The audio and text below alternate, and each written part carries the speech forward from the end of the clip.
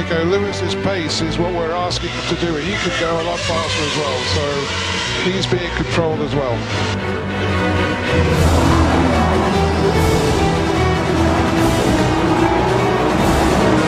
I'm not slowing down for Nico. Nico hit me. Nico's hit me. That's not cool, guys.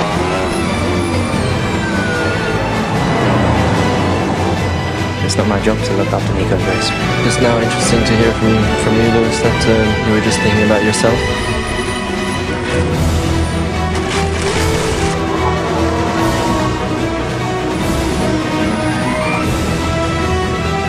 I think uh, the world champion sounds a lot better than the Olympics.